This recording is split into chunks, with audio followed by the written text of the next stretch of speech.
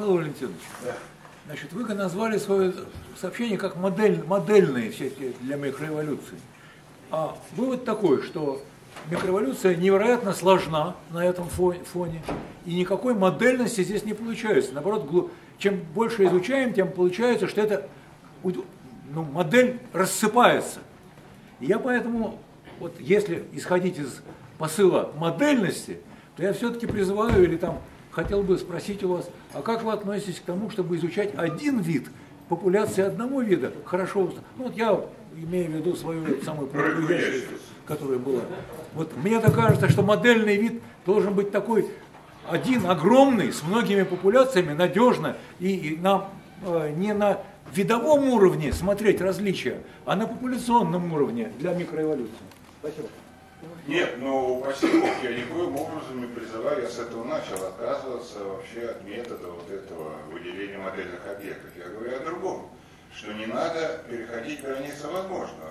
То есть, когда у вас есть некий вид, модельный, хорошо изученный, а, вы можете данные, полученные на этом виде, с относительно небольшим риском распространять на другие ситуации, не обязательно вид, на другие ситуации. Но лишь в том случае, если по существенным свойствам, ну скажем, те данные, которые вы получили на прыткой ящерице, нельзя распространять на уголовку пеструшку. Скажите, пожалуйста, а антогенез... Скажите, пожалуйста, а антогенезом этих форм занимались подробнее? Как такие большие морфологические различия достигались при небольших э, генетических? Ну, антогенезом занимались и занимаются. Но тут еще интереснее. Я же сказал, что вообще вот эти различия, они проявляются очень поздно. Они проявляются в позднем антогенезе. То есть примерно, ну, где-то рядом с половым созреванием. А, ну, видимо, э, в значительной мере здесь гормональная регуляция. У нас должен был быть доклад, я не знаю, будет он или нет, Смирнова и Штиля, которые вот как раз тоже занимаются.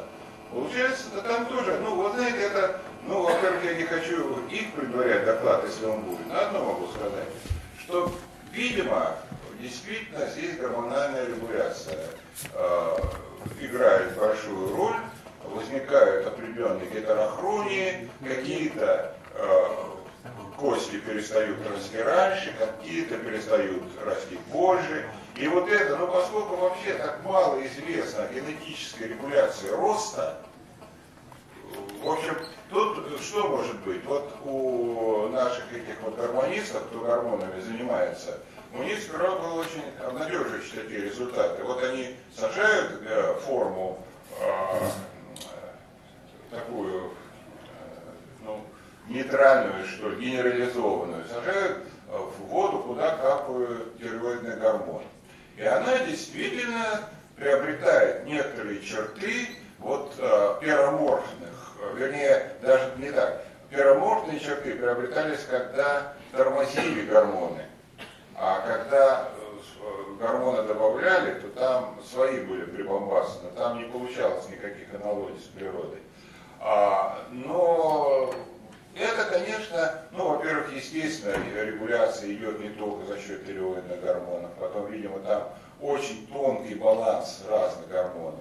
И вот у меня лично, ну я не специалист по гормональной регуляции, но у меня такое впечатление, что если здесь что и регулируется э, генетически, то не уровень гормона общий, а восприимчивость, компетентность отдельных э, ну, модулей, как теперь принято говорить, э, отдельных костей, может быть. Вот их чувствительность в зависимости от э, э, генетической регуляции может повышаться, понижаться. Но ну, тут, тут столько возможностей для спекуляции, видите, мне даже как-то вот скучно этим заниматься, потому что уж больно много возможностей. Вот две гипотезы опровергнуть мы смогли, а предложить обоснованную свою мы не можем.